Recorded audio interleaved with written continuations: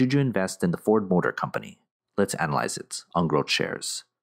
I'm going to look at six metrics that will give me a better understanding of what kind of company I'm looking at.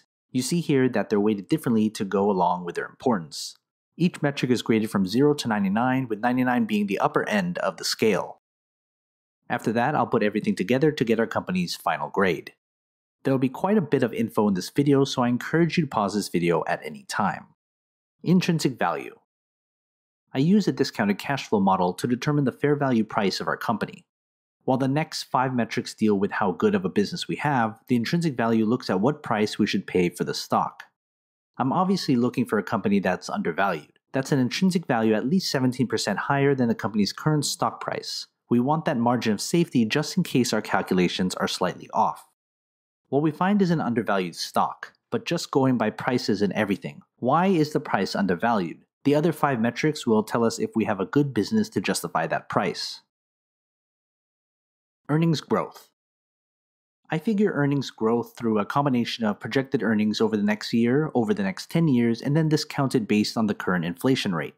What I'm looking for is a growth rate of at least 8%. That's not unreasonable and very attainable for a profitable company with room to keep growing. If growth is anything less than that, the other metrics will need to make up for it. I have a growth rate that's below what I'm looking for. This tells me the company is in its terminal stage, where they aren't putting too much effort in growing anymore. PE ratio. The price to earnings ratio tells me at what multiple the stock is trading at compared to its earnings. I'm looking for a PE ratio of 15 or lower. That's not a hard and fast number based on the type of company, but as a general rule, the lower the better, since the PE is a key valuation metric. The PE here is average, and one indication is that most investors are already pricing in its relative earnings.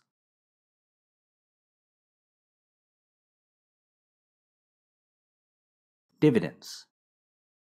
Dividends are an underappreciated metric when analyzing a company. I'm looking for a dividend yield at least 2.1%. You should get paid for simply owning a piece of the business, or else you're just speculating. That's not investing. The dividend here is promising and it fits my 2.1% minimum. But a high dividend isn't always great, so be cautious. Some companies may entice you with a high dividend to distract you from any deficiencies they may have. Return on equity. Return on equity is profit generated with the money shareholders have invested. I'm looking for an ROE of at least 11.75%. That means the company is putting our hard earned investment dollars to good use. We see a good ROE meeting at least our minimum we can attribute that to a high margin business, but also good governance. Free cash flow. This is what's left after a company pays its day to day operating expenses. We always want a positive free cash flow. I'm looking for a free cash flow of at least $17.75 billion. That's money that can be used to grow our business's market dominance through research and development and acquisitions we have a meager free cash flow that tells me the company has no dominant position and doesn't have enough free cash in hand to capture any market share.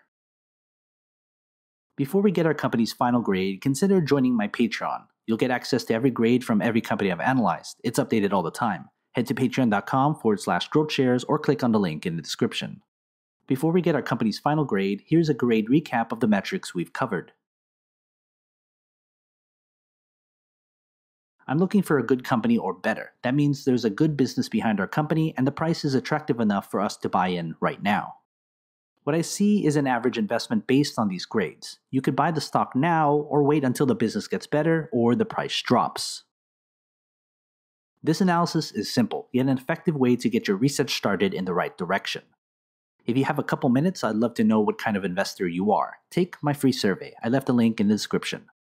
If not, check out my other analysis videos, and don't forget to subscribe for more. Invest wisely, and as always, take care of your money.